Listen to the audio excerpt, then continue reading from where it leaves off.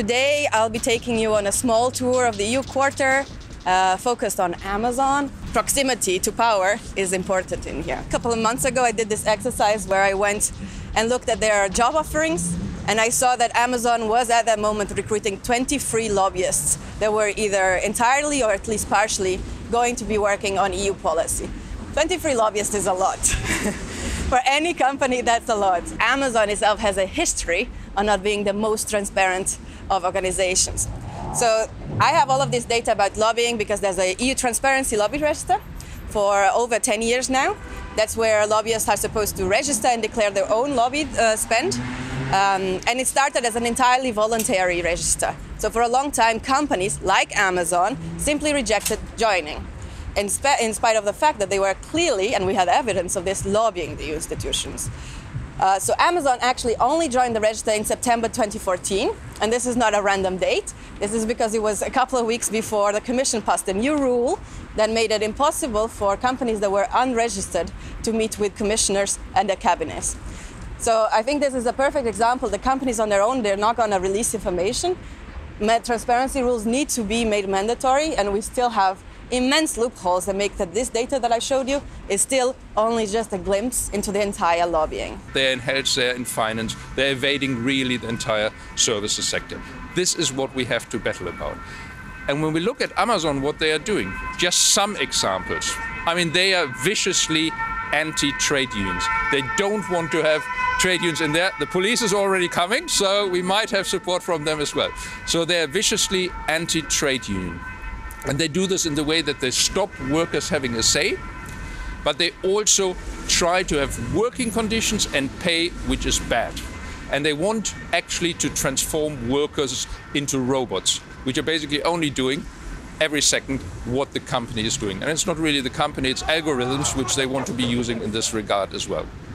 And obviously, if you have one company which is doing it like this, then it has impact on all the competitors as well. And this Amazon is even monetizing because their method of controlling people is now their next business model, which go out, going to small, medium-sized companies and saying, buy it from us. And the result again is they get more data, more surveillance. They surveil companies, they surveil workers, they surveil uh, consumers. And when you look at it, Amazon also provides their web services for governments. Are they surveilling our public authorities as well? That is a question. We will have demonstrations uh, worldwide. We will work together with our affiliates in Italy, in Spain, in Germany, and across the globe to really make sure that this gets to the forefront of the discussions in Europe. Il y a ce qu'on appelle au Parlement européen un registre de transparence où les lobbyistes sont censés s'enregistrer et les députés qui les rencontrent euh, indiquer les rendez-vous qu'ils ont. Ce lobby et pas du tout, ce registre de transparence n'est jamais complété Jamais, jamais, jamais. Et le problème, c'est que ces rendez-vous entre les députés et les lobbyistes, tous les millions d'euros que les lobbyistes mettent pour influencer le processus législatif, et eh ben après ça se ressent dans les lois qui sont votées. Faut pas s'étonner ensuite si l'Union européenne, elle vote des directives, elle valide des directives qui vont dans le sens de l'intérêt de Google, d'Amazon, d'Uber, de Deliveroo, plus que dans l'intérêt des travailleurs si en fait tout au cours du parcours législatif ils sont autant présents, ils sont, ils sont autant présents, ils sont autant chez eux. Donc moi face à ça, ce que je propose, c'est au contraire de créer un contre-lobby, un lobby citoyen, un lobby populaire. On voit déjà que les travailleurs d'Amazon, ils s'organisent partout dans le monde. Pour avoir visité des entrepôts Amazon et avoir organisé, j'ai organisé des auditions internationales de travailleurs d'Amazon, c'est frappant de voir à quel point tous, ils parlent des langues différentes, mais ils racontent la même chose. Ils racontent à quel point tout est fait pour robotiser le moindre de leurs gestes. Ils racontent à quel point tout est fait pour qu'ils ne se parlent pas, pour qu'ils ne s'organisent pas, pour empêcher l'organisation collective, euh, pour faire en sorte qu'ils soient divisés. Et eh bien, quand ils s'unissent, ces travailleurs, au sein même d'un entrepôt, mais à l'échelle internationale, comme euh, euh, ce à quoi s'attelle Uniglobal par exemple, eh bien ça pèse dans le rapport de force. Et au-delà de ça, pour faire tomber Amazon, il s'agit de monter des coalitions qui réunissent à la fois les travailleurs, mais aussi les parlementaires. Euh, un réseau de parlementaires, on a un certain nombre au Parlement européen de tous les groupes à vouloir s'opposer à l'impunité d'Amazon et à les forcer à respecter la loi, à respecter les droits euh, démocratiques, euh, l'économie et arrêter de tout piétiner comme ça.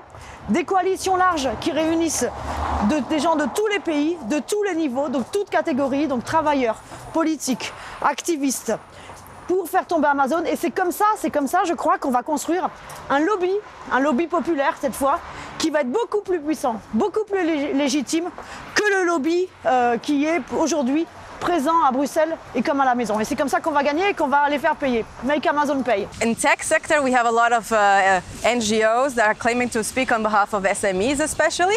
And then when you go and see, they are entirely funded by Amazon, Microsoft, Apple.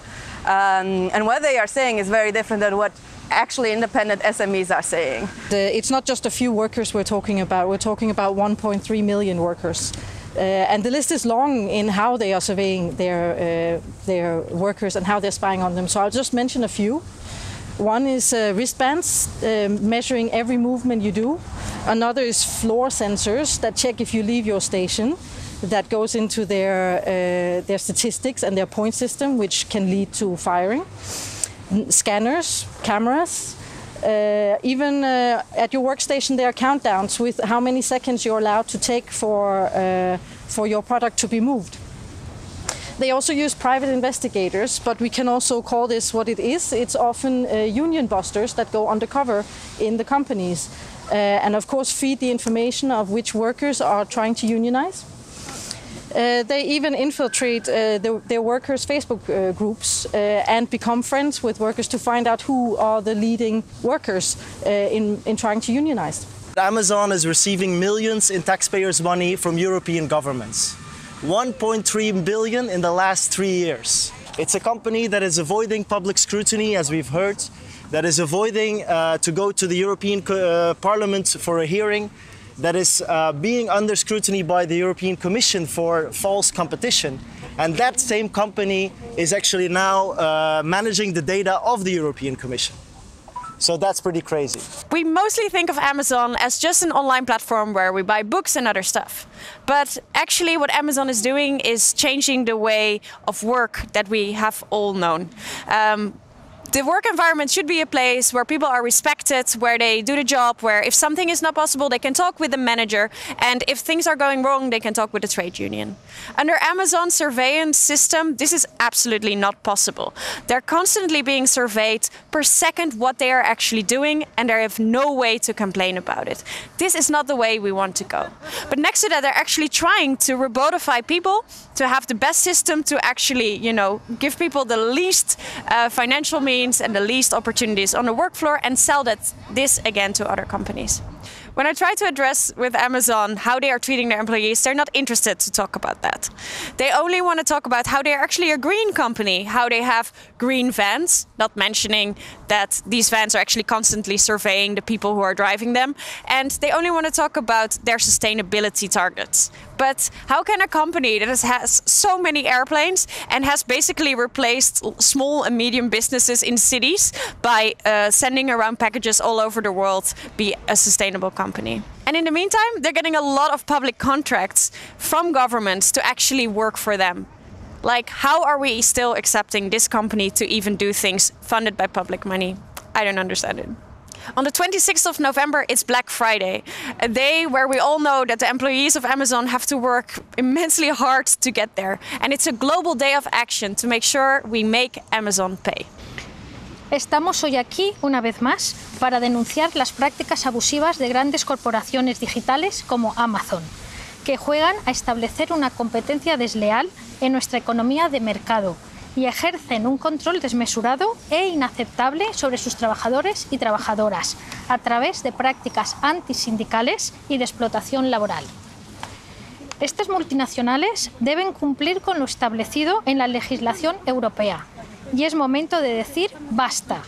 No a las prácticas monopolísticas, no a la evasión de tasas fiscales, no a la explotación laboral y la vigilancia de los trabajadores y no al incumplimiento de la ley de protección de datos y de los derechos fundamentales.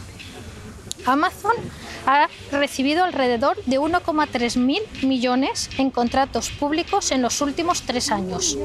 Intenta influir de forma considerable en los poderes públicos, al igual que otras grandes corporaciones como Facebook y Google.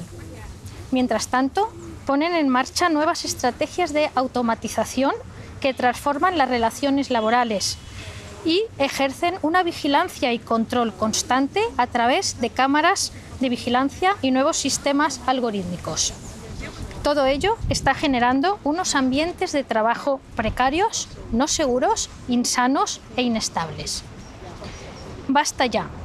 Vamos a luchar para que cumplan con la legislación europea en vigor, para que se respeten los estándares establecidos de salud y seguridad en el lugar del trabajo, por la no violación de los derechos de privacidad y por alcanzar una mayor regulación en un mundo digital que respete unas condiciones laborales justas y dignas. PwC is a company that provides aggressive tax planning services. That means that it helps companies like Amazon avoid taxes uh, by putting them and giving them agreements with places like Luxembourg. This was all revealed, especially um, in what has become known as the Lux Leaks, which really showed that Amazon was paying a very minimal amount of tax. But not only does uh, PwC offer this sort of tax planning services to Amazon and other companies, they also then have different hats that they put on um, where they can influence the EU's tax policy. So by that I mean that sometimes they get uh, given procurement contracts by uh, the EU Commission to uh, do research and give uh, recommendations on tax issues. Uh, sometimes they sit exactly on expert groups from the Commission where they advise the Commission on how it should reform tax policy. Obviously, you can expect that they're not the most progressive uh, of people when it comes to tax policy. Today we walked around uh, Brussels on a lobbying tour showing where Amazon is based and who is supporting Amazon in its plight to to make sure that Amazon wins the legislative battle. And we make sure that they won't. We have a joint coalition here with uh, MEPs as well as with civil society organizations. But what is important, we are standing here in front of the European Parliament this is not the only place where we fight Amazon, and it's not the only place where Amazon is fighting workers and citizens in Europe. We are also fighting them in the workplace. That is one of the key battles that the European trade union movement, that Europa is fighting here in Europe and uh, the trade unions across the globe, and that is in the companies. In Italy, we managed to get a collective agreement for Amazon. That is the first. It was a, it was a very difficult fight, but we get there. It shows us that we have the possibility. As we went around and have uh, the support of MEPs, next week we are coming back here to Brussels with workers uh, from across Europe to demonstrate for regulation of Amazon.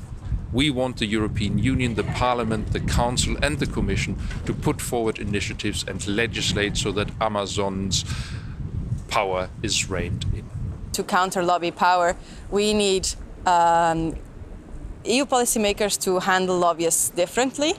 Uh, we need them to be more skeptical of what they say. We need them to question who funds who and what they are speaking about. We need them to question the research and evidence that the lobbyists put in front of them. And we need them to reach out to other voices, to those that have less money. We need them to reach out to trade unions, to civil society organizations, and get their points of view in EU policy issues.